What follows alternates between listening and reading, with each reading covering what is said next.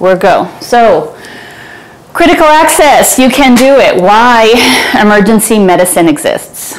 There is a, a tradition or a belief in emergency medicine that if you're not at a big trauma center taking care of gunshot wounds and trauma after trauma, critical patient after critical patient, then you're not really practicing emergency medicine. And I would argue the opposite. I would argue that the real cowboys are those people in the field bringing quality care to the communities that are remote and that really need it. I have no disclosures. This is Coeur d'Alene, Idaho, North Idaho, where I live. So we're going to start with a case study. Um, at 2247, a 69-year-old man presents to a critical access emergency department. He's got a history of diabetes, high blood pressure, GERD, and atrial fibrillation. His chief complaint is right-sided jaw pain. This started suddenly after dinner and was rapidly progressing throughout the evening, so he came into the ER at night. Focused review of systems. He's got no cough, no fever, no difficulty in breathing, chest pain, or nausea. He has no toothache or sore throat. He does have a headache. Uh, significant past surgical history. He had all his teeth extracted at 18 and a full set of dentures, so we're not terribly worried about oral issues. Medications include levothyroxine, ranitidine, Uloric, amlodipine, gabapentin, lisinopril, metoprolol, and Pradaxa. Physical exam. Little hypertensive, a little tachycardic. He was alert and no acute distress, no stridor or posturing. Uh, the only thing significant on ENT was that his neck felt a little bit boggy, and it was hard to describe other than that. It just felt a little boggy. The rest of his exam was normal. Um, we did a point of care ultrasound of the soft tissues of the neck, and all we could see was a little interstitial fluid. There was no mass, no obvious fluid collection, no pulsatile mass. So, what's going on? I have no idea. Decided to shotgun it. So routine labs and a CAT scan of the neck was ordered. In the meantime, a cardiac arrest presented to the emergency department, and at our hospital, that means everybody leaves and takes care of the cardiac arrest. Uh, about an hour later, after the code was completed, the patient was re-examined. Now he's got increased pain and more obvious neck swelling. He's got a slight laryngospastic cough and is developing a hot potato voice. He has recently come back from CT that we now have a chance to look at. CT was reviewed and we discussed it with the ENT over the phone. So what have we got? We've got general soft tissue swelling and you can see behind the tongue it's compromising the airway. It's starting to compromise the airway, okay? This is what John cut back for me a little bit so we no longer have the date and time. So he's got trismus now, more pain and swelling, and we're seeing asymmetric edema in the oropharynx now on the right side of the soft palate. What is it? Angioedema, okay? We've got angioedema at a critical access hospital. Very atypical in presentation, but this is angioedema. So we need to get this guy intubated and transferred. We can see that his airway is starting to close off. Routine meds were given to treat him and he was moved into a larger room for access discussed with ENT about how to proceed. And ENT started telling me, well, can you get your general surgeon in? How about getting anesthesia in there? Do you have an anesthetist out there? And he kept on running through lists, and I stopped him. Stop. Stop. It's just me. Or is it just me? You, you need to be a little creative. First, first of all, let's talk about where we are, okay? This is the United States.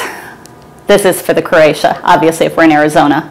I don't need to tell them it's the United States. Very big country. We're 3,000 miles wide, 5,000 kilometers. This is Idaho. This is where we are, and we are actually in the very northern part called the Panhandle. This is Iowa, which I like to call not Idaho. About half the people I know back east actually think I'm in Iowa. I'm in Idaho. It's 1,300 miles west of Iowa. So, Idaho's in the Pacific Northwest. It's a really fun place. We have Boeing, Pearl Jam, Starbucks, Microsoft, every kind of wild animal you can imagine, huckleberries. Iowa, that's about all that's there as far as I know. But one thing that we both have in common, being states with large rural areas, is a, a, a, large amount of our population is served by small and critical access hospitals. Really? Is that really common? So what is a critical access hospital? CMS defines critical access, uh, in essence, as being in a rural area you have to provide 24-7 emergency services. There have to be 25 or less inpatient beds. That's at maximum capacity. That is not average stay. That is maximum capacity, 25 or less. You need an annual average length of stay of 96 hours or less per patient for an acute care stay. And you have to be located more than a 35 mile drive from any hospital or other critical access facility. They're all over the place. A huge amount of the country is served by critical access hospitals. And this doesn't even count the small hospitals with limited resources that have very similar backup. There are over 1,300 critical access hospitals located throughout the United States. Back to our case report, management of angioedema. Uh, so we all know in a tertiary hospital, we all learn this in training. What do you do? You get ENT, you get your most experienced anesthesiologist, you go to the operating room to intubate and have ENT back up to get ready for doing an emergent trach. Critical access hospital management, it's just you. Or is it? So this is Bill. Bill has airway training. He is our EMS medical director, and he is the only paramedic in the entire county, in the entire 40-mile uh, Silver Valley area in which I work. He is my airway backup.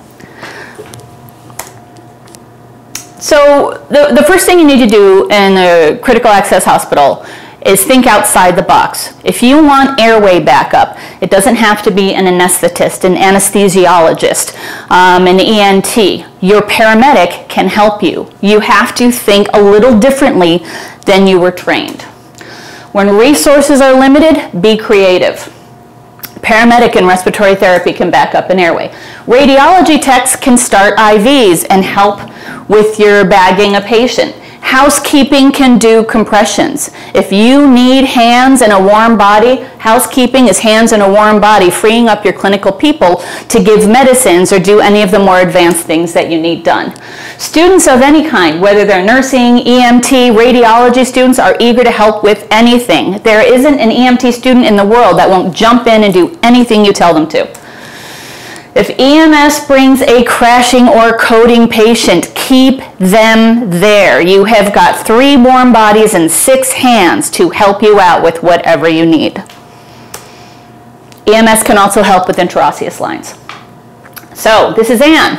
This is my respiratory therapy department at my critical access hospital. We have one respiratory therapist, although she unofficially will come in anytime you ask. She does not formally take call and she's pretty much available during banker's hours.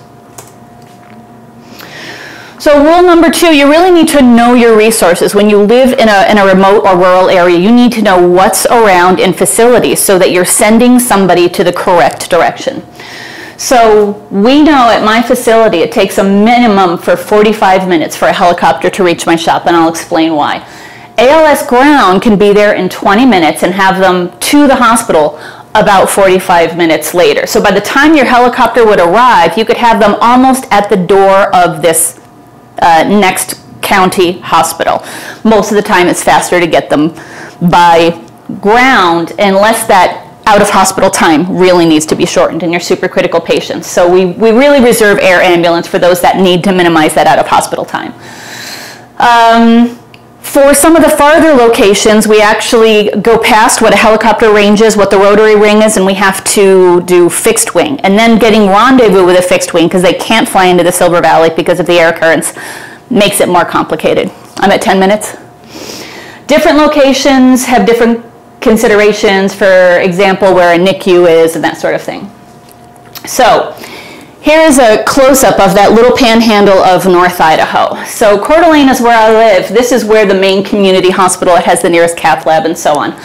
I practice actually out in Kellogg, which is about 40 miles away. The nearest helicopter is Sandpoint. So by ground, that's an hour and a half away. Um, but between the time it takes the helicopter crew to get there and the flight time, it's 45 minutes for a helicopter to get here. So this is where I do cath lab, my, most of my trauma. This is a level two trauma center here in Spokane. Um, this is also where complicated joints would go. I think I have another slide.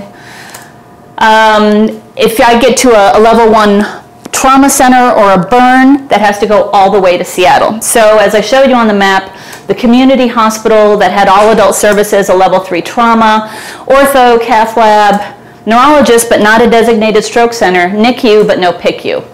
Spokane, a little farther, level two trauma center, you can do your more complicated joints. There's a children's hospital there, a Shriners Hospital, and they do stroke center and endovascular. There's four hospitals in the Spokane area.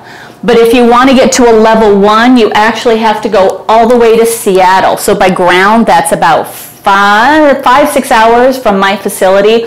It's too far for a rotary wing. That's when you have to get into your fixed wing transport. It's about um, 350 miles away. So start the transfer process early. It takes 20 minutes for ALS to get there. It takes 45 minutes for the helicopter. Almost as soon as you go in the room, you or somebody needs to get on the phone and start getting those people in so you can get them out of there for definitive care. Um, it can take hours to get a bed at some of these facilities, and sometimes you, if you can't find a bed east, then you have to start looking an hour and a half or more away west. You may have to call more than five hospitals in a busy, busy season to find, especially a critical care bed during flu season, a trauma bed during trauma season, that sort of thing. You often have to give the same story to multiple specialists. So as soon as you have enough information to make a disposition, start that process. Do not delay. You will become very familiar with this in a critical access hospital. You don't have a HUC. I don't have a HUC in my emergency department. There's one during banker's hours in the lobby. There is never a HUC. And if you have your nurses giving meds, doing lines, your other, uh, your CNA is doing paperwork, you're the least valuable member of the team. You're the one on the phone. So expect that. Early intervention, every intervention can delay definitive care. So every drip that you start. You start a chest pain on a nitro drip, you've got to start the drip, you've got one nurse that can only do one medicine at a time, and then it's going to take time for them to transfer it to their uh, equipment for transfer. So you may want to consider nitro paste instead of a drip, push dose pressors instead of drips. Foley, NG tube, they all take time. Don't delay your transfer for this. If radiology is not in-house, sometimes you send trauma patients before imaging. Rule number five, do not be proud. Backup is backup. If respiratory and paramedics don't have your training, you don't have theirs. Be grateful for any help you can get. Going back to our case study, we planned for emergent intubation and he was also consented for a cric. I called a paramedic in. Uh, what we did was we actually prepped and draped the neck, went over, opened the kit, made sure we were both comfortable with the cric kit as I got ready to intubate him. Fortunately, the patient was easily intubated and transfer was arranged. He was in the ICU for two days, was weaned from the vent, and after his ACE inhibitors wore off, was discharged home uneventfully, no problems. So in summary, you did not train for this. You trained at an academic institution with backup, but you have the skills to do this job. You need to think outside the box, know your resources, start the transfer process early. Limit procedures or meds that could delay definitive care. Do not be proud, accept any help you can get. Remember that hospitals have limited resources and we are trained in initial evaluation and stabilization of any disease and then can transfer them to the appropriate facility. If you don't do it, who is there? Small towns everywhere deserve quality care, and we have the training to provide it. Thank you. I want to put my blog up here. Yeah. And that was what I tried to do on my phone, which was So an obvious said- fail. So you said it's just you, but like, how many nurses do you have? Right. So I have, at my facility, I have one RN and a CNA, and that is my entire staff in the emergency department. Wow, Yeah. Very good.